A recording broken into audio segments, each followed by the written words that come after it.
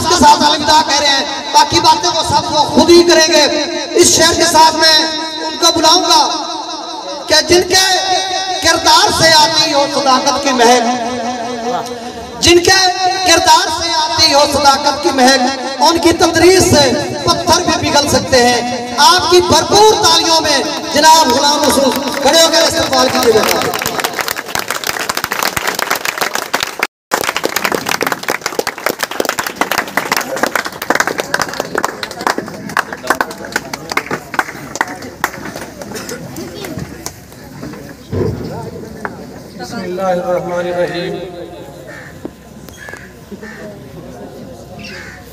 इज़्ज़त माप जनाब head master government high school Hashmul Mirali Chaudhary Mohammad Hanif साहब। जुमला staff, government high school Hashmul Mirali मेहमान आने ग्रामी अस्सलाम वालेकुम। सबसे पहले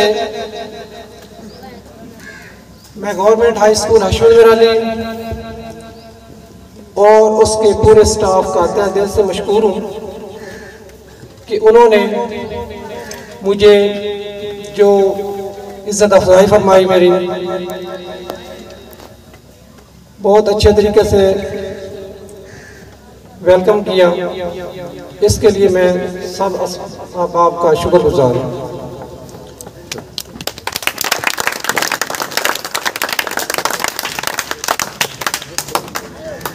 Government high school Ashok Varali में मेरा अरसा दो टिनोर पर मुश्तमिल है। अक्टूबर का महीना है। यकम अक्टूबर उन्नीस सौ सतासी को मैंने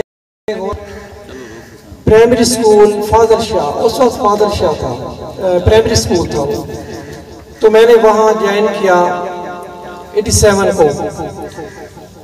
तकरीबन एक अरसा मैंने वहाँ गुजारा। आरमा गामू वाले पुल, वो एक मकतब स्कूल था, वहाँ गुजारा।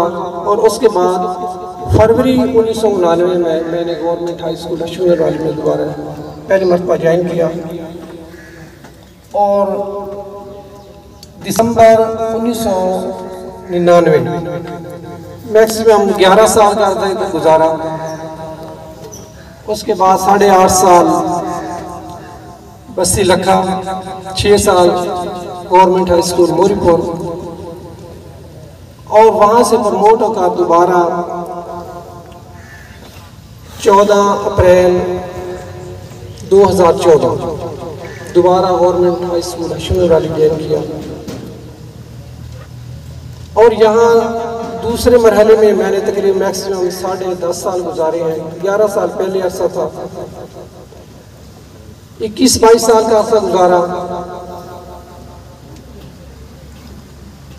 कोशिश की कि अपने फ़रज़ को ईमानदारी से निभा सकूँ, निभाया।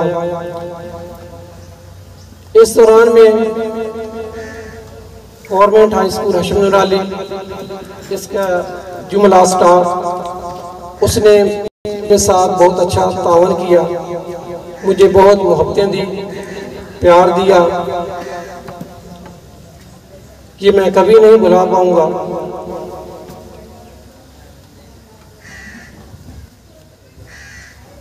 यादें तो रहेंगी, लेकिन घर का स्टेशन मिल गया। तो इसलिए कोशिश कर ली, लेकिन मेरा इरादा तो था कि मैं रिटायरमेंट इधर से लूँ, दिली इरादा था। लेकिन अल्लाह को जो मंजूर था, वही, होता वही है। और मैंने तो आज आज ऐसा समझा कि जैसे मैं आज रिटायर हो गया।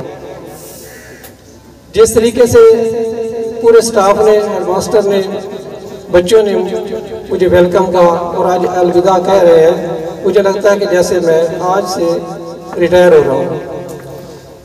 इस दौरान में मुझसे किसी किस्म की किसी भाई के साथ कोई तलक करामी होगी हो ज्यादती होगी हो स्टाफ के साथ या बच्चों के साथ तो इसके लिए मैं सब अब आपसे मदद करूँ इसके अलावा जहाँ इंसान रहता है, वहाँ इंसान का कुछ लेन देन भी होता है, दोस्तों के साथ एक एक घर का माहौल होता है। अगर मेरे से कोई लेन देन हो, मैं भूल गया हूँ तो वो भी मैं देने के लिए तैयार हूँ। आखिर में आप सब बच्चे, मेरे दोस्त, मेरे लिए दुआ करेंगे। कि अल्लाह ताला मुझे अपने हिफ्ज़ अमान में रखे।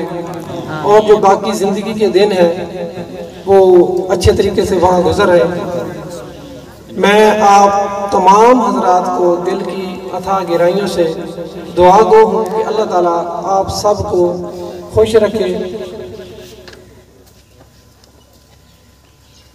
अल्लाह हाफ़िज़।